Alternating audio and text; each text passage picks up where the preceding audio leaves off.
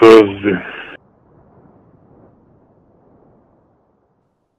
Всем привет, дорогие друзья! После моего последнего ролика про Дон Дона многие стали обвинять меня в том, что я толкаю дезинформацию, хотя в самом видео я говорил о том, что не знаю, сколько Кадырову осталось жить, а также сказал о том, что в любом случае он выглядит как нездоровый человек, и для того, чтобы это понять, не надо быть даже врачом. Если год назад он выглядел так, то сейчас весь опухший, с трудом говорит и двигается тоже с трудом, да еще и при разговоре отдышка сумасшедшая. Какой же это здоровый человек, однако, несмотря на все все это, немало дурачков в комментариях нарисовалось, которые заявляли о том, что это все вранье и Кадырка здоровее всех здоровых и всех нас переживет.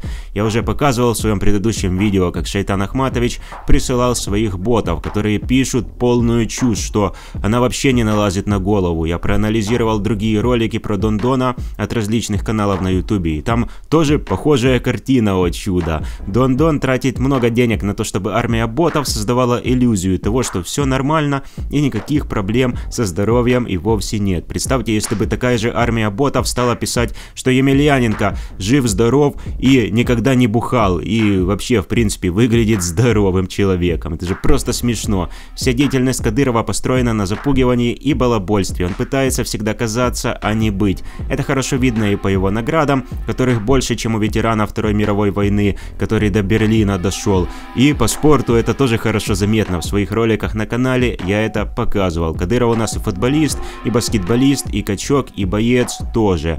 Ровно это же касается и его тикток войск, которые не являются вообще боевыми подразделениями. Это подразделения МВД, цель которых разгонять митинги и охранять самого Дон Дона. Это не военное подразделение и не супер крутые вояки, как рассказывает пропаганда. Это обычные тикток войска, которые сильно распиарены. Сам же Дон Дон после того, как начали форсить новость о его предсмертном состоянии, появился в видео со своим друганом Делимхановым, с которым они вместе рассказывали о том, что они планируют жить долго, и тут как бы их можно только поддержать в таком вот стремлении. Тихонько живем, хлеб живем, если что.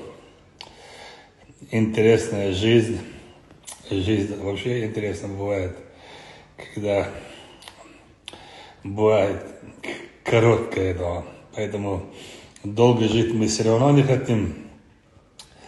Коротко, но достойно будем жить. Да, безусловно, Дон Дон жив, но вот насчет здоровья я бы так и близко не говорил. Обратите внимание на то, как он говорит. Почти каждое слово и отдышка идет, а лицо еще сильнее опухло. Вполне вероятно, что информация про проблемы с почками правда, хотя могут быть и другие заболевания тоже.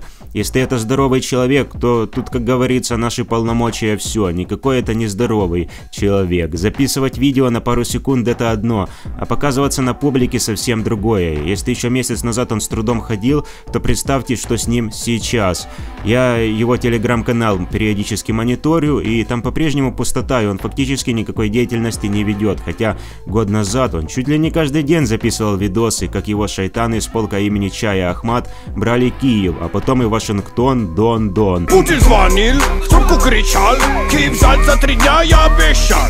В Киеве был, в двери стучал, мне никто не открыл, я убежал. Мы сейчас говорим у вас на Украине, в каждом углу дома, Кальном, улице Ахмад Сила. Где вы? Иван Ахматович, сейчас Киев, дальше что? Сейчас Киев, он дальше, кто будет лезть он, на нашу страну, да, да, э, видно будет. Это оружие да, он, украинского производства, да, трофейный да, он. Трофейный Дон был чрезмерно активен тогда, но сейчас появляется крайне редко, да еще и в таком вот состоянии. Ама там второй июля дом. Когда ну, Второй. Да, Дон. 2 июня до, Делимханов показывает дату и время на своем айфоне. Так, я что тут не понял, а как же проклятая Америка, с которой Дон-Доны так яростно сражаются? Но сражаются они только на словах и сражаются для быдла, а сами без особых угрызений совести пользуются западными технологиями и всеми благами цивилизации, а быдлу рассказывает про загнивающий Запад и как Америка скоро рухнет. Обратите внимание на его руку, она тоже опухшая, как минимум у него наблюдается задержка жидкости в организме. Связано это с почками или нет, можно долго гадать.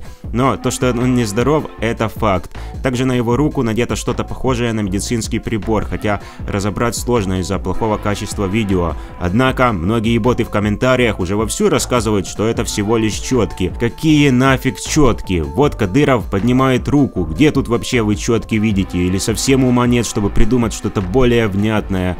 Магомед Даудов, известный также как Иудов или же Кадыровский лорд, наперед записал некролог hun Amos Hyrsch Stranastavnik fra Uchi Tilhildyrene og Pocha. Ahmad Хаджибан Рамзан Гур, Дала Ахмад Хаджимир, Дал Газу Видимо, он хотел быть первым, чьи слова о Кадырове будут опубликованы в день его смерти, но, видимо, это все слили в сеть.